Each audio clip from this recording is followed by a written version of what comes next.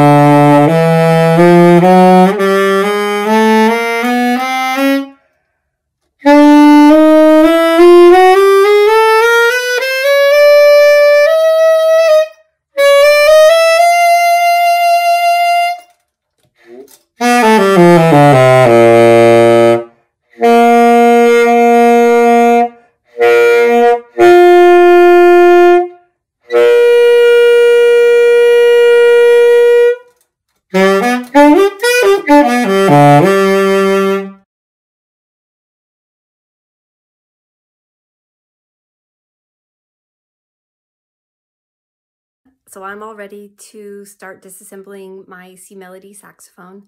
Um, I wanted to show you my workspace and show you how, how I have it all set up. And then I will just jump right into it and um, probably show a little bit to begin with and then go to a time lapse. So here we go. Okay, so I want to show you my workspace. So I have my saxophone here. I found this squishy pad at the dollar store. It just so happens to be a perfect size for my C Melody. And then I also found this drawer liner to help protect the desk surface. I have a computer for my tutorial. Um, I have this tray where I'm going to put the rods and screws to degrease them in here with this spray degreaser. And then I have my toolbox, which is my old caboodle that I've repurposed, which turns out to be the perfect size for saxophone tools. So I've got everything in there. Um, so the main things I'm going to need are some pliers, a spring hook, and a screwdriver. I have another screwdriver set here for some smaller ones. And I actually found this at the dollar store as well.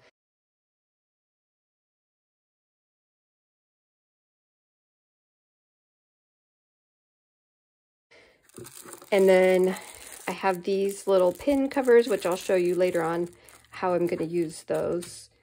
Um, I got these blocks from Music Medic to organize the screws and the rods so they don't get mixed up. And then, you know, just have a drawer with some Q-tips and some pipe cleaners, which I'll be using later.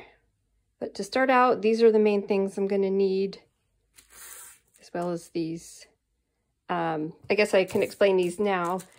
Um, one of the biggest complaints I guess people have with taking apart a saxophone is that the springs are really sharp and it's easy to stab yourself on them.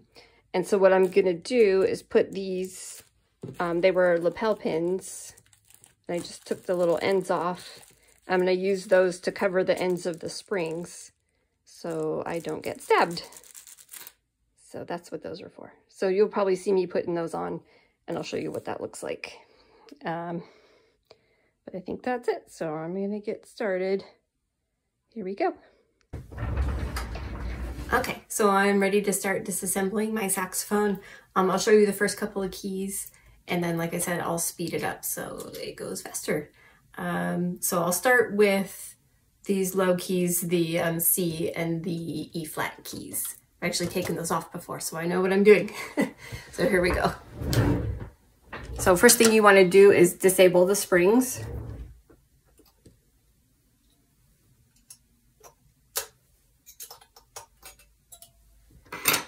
And then take out the screw or the rod.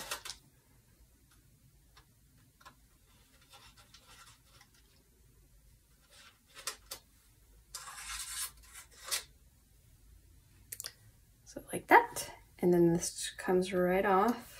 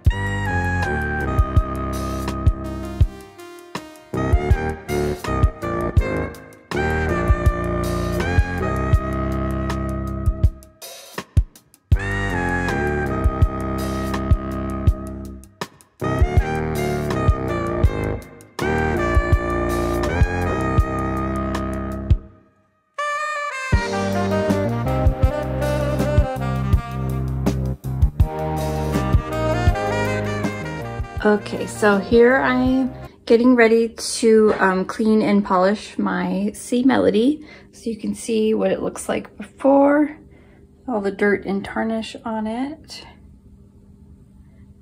And I have all the um, pin covers on all the springs so I don't get stabbed. So you can see what that looks like with all the keys off. And how it looks before.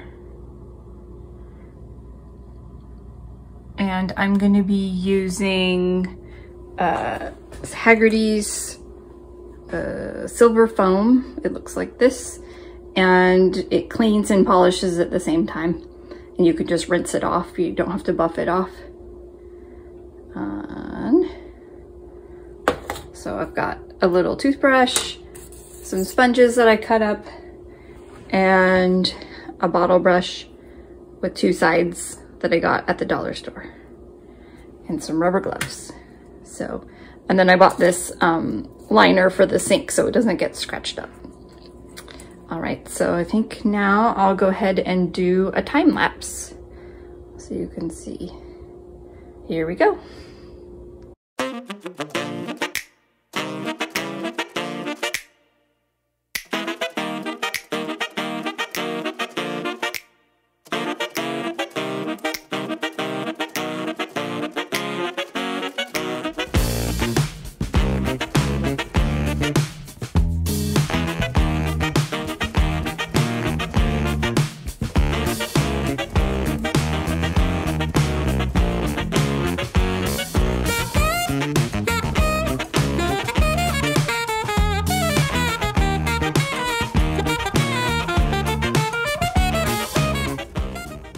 Here's an update on just the um, top part that I started polishing. You can see it's um, pretty hard to get underneath the springs, but where I did get, it's looking nice. Um, so this is gonna be quite a process to get done, but there we go. That's how it's looking so far. I'll let you know when I'm done. One eternity later.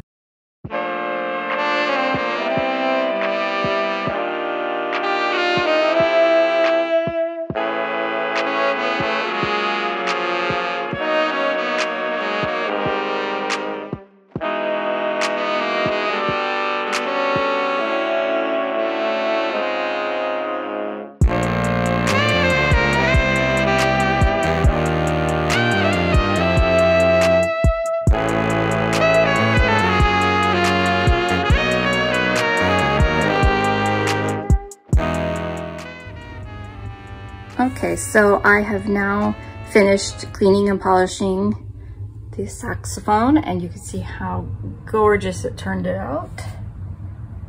Uh, it took me a few hours to polish it and it actually took two rounds um, to get everything. But I'm very happy with how it turned out. And now I'm gonna do a time lapse of putting it all back together again.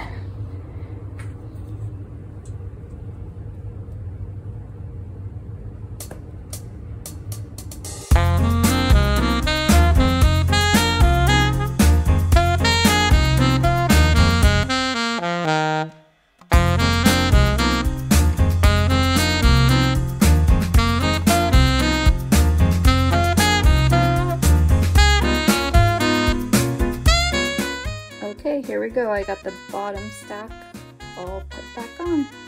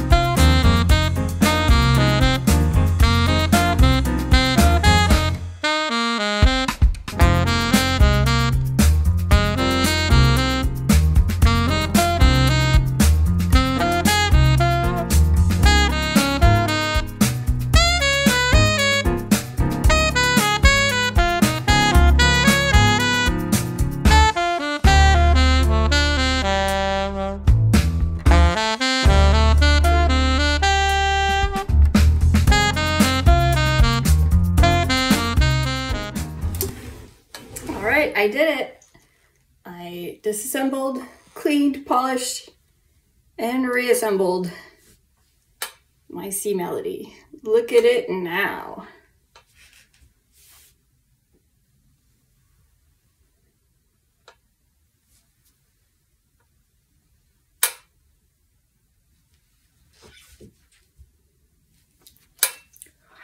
Thank you.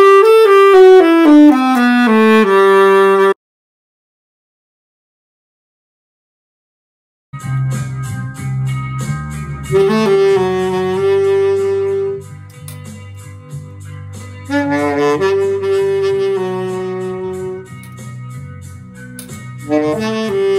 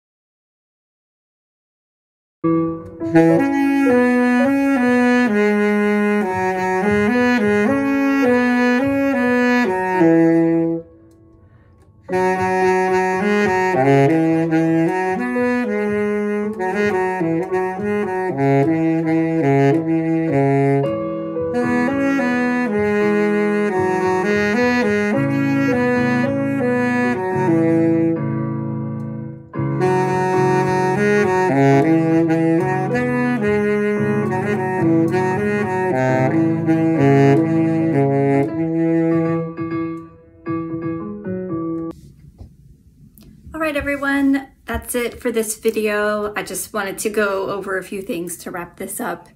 Um, so I had a lot of fun with this project. I learned a lot. I've become a lot more familiar with the workings of the saxophone and it kind of demystified a few things. I mean, it looks so complicated, but once you get into it, it's kind of a fun puzzle to put it back together and it wasn't as difficult as I thought it was going to be. Um, and I felt empowered by the process. So it was really fun. And now I want to um, do the same thing to my other silver saxophones and get them polished up. Um, some tips for you if you want to do this yourself.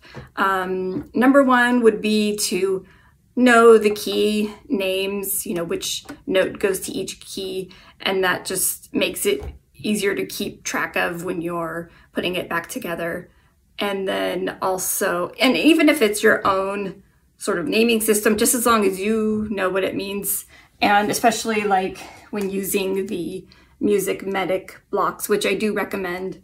Um, for example, here they have one spot for the low E, low E flat slash C key, but on the C melody, there's actually two different rods. So I had to kind of modify it and make a separate spot down here for the low C. But just as long as you know the system and which keys are which. Um, some of them I labeled once I had taken them off. I labeled with a sticky note just so I make sure I knew what it was. Um, whatever system you come up with, that'll make it easier. And then the other thing to do, take a lot of pictures. Um, that'll help you see which key goes where. Um, there was one picture I didn't take, which was at the very bottom back here, I think it was. So yeah, just take a ton of pictures up close of each section and that'll make it easier to put it all back together. Um, let's see what else. Oh, my lapel pin covers. So I bought them. I have one here off of Amazon. I bought a whole pack of them. I think it was 60 that came in a pack off of Amazon. And I'll put a link to it if you want to try this out. But it worked. So I put these little covers on the end of the springs and I did not get stabbed a single time. Um, I almost did. One of them fell off and caught my glove, but I made it through. so I am really proud that I thought of that and um, I call it Stacie safety mode. So if you use it yourself, make sure that's what it's called now. Um, one tip with that to help the little covers stay on, I put a dot of clear nail polish in the top and that helps it kind of grip on to the spring better, this little end piece. Um, I did lose a few when I was washing the saxophone. Um, and actually the very first one fell off and went into the garbage disposal. So I had to get that out. But um, for the most part, they stayed on and helped protect me. So that was a win.